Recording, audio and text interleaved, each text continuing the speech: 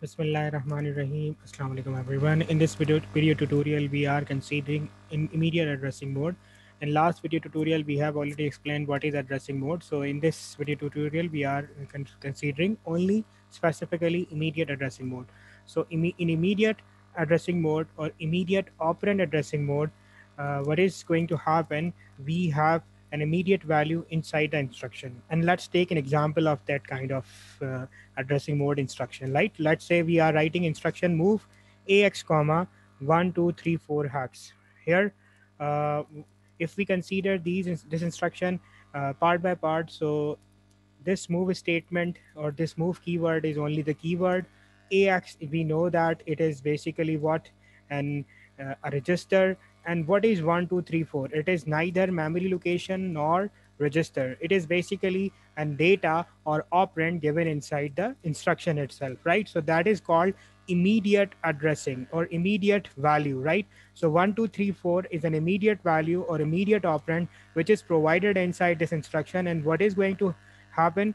Uh, 1234 will go to this AX, right? So 1234 is what? 1234 is one, two, three, four hex is a source operand, right? Because it is uh, it is the value which is immediately provided, and immediate value it can all can never be a destination value. So it is it is a source operand. So what is going to happen? One, two, three, four hex, which is a, a source or immediate value, it will go to AX register. So after the execution of this instruction, what is going to happen? AX will have equals to 1, 2, 3, 4, right?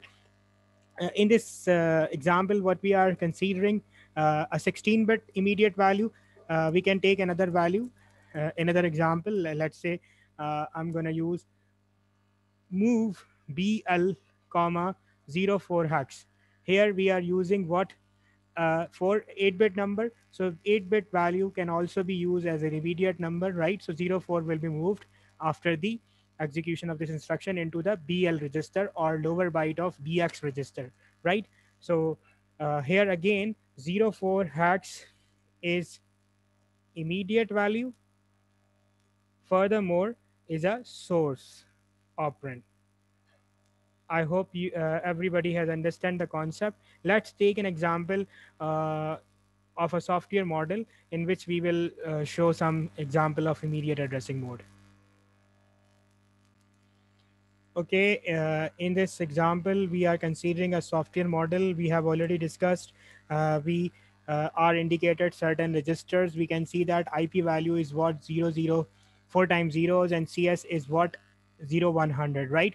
And we know that CS colon IP provides the physical address. CS colon CS colon IP provides physical address. We know that CS value is zero one hundred colon the logical IP value is what? 4 times 0 and if we if we use the formula which we know 0 100 multiplied by 1 0 plus 0 0 that will lead towards the physical address of the next instruction 0 1 uh, that would become 0 100 0 1000 hex right? And if you are observing this uh, this diagram right? This diagram is what? This diagram is physical memory and specifically if you look at this this address 0100 right? 01000 it is provided by ip and cs value. How? I have already calculated this value. And we see this is the uh, this is the next instruction these two bytes right? 01000 and 01001 and what is the instruction? Instruction is move al comma 15 so this is the assembly version and this is the machine code version of this instruction, right? And what is written here, move AL comma 15. So what is going to happen? 15 will be moved in AL register or AL is what lower byte of AX register. We can see that we don't know the value of AL. So here we uh, are indicated XX. We don't know what is the value, but if we execute this instruction, what is going to happen? Let's execute it. Now I hope you can see that this value, uh, this instruction is executed. What is happened? Uh, since these two bytes are already consumed, so now IP will point to the next instruction 01002 and IP value is changed, right? So 01002 can be again calculated in the similar fashion as we calculated earlier. I hope you can do that.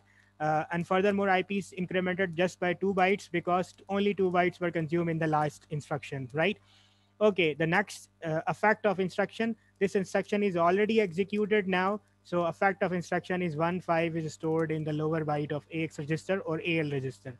I hope you have understand this immediate operand addressing mode. Still if you have any query or confusion you can post those queries and confusions in comment section.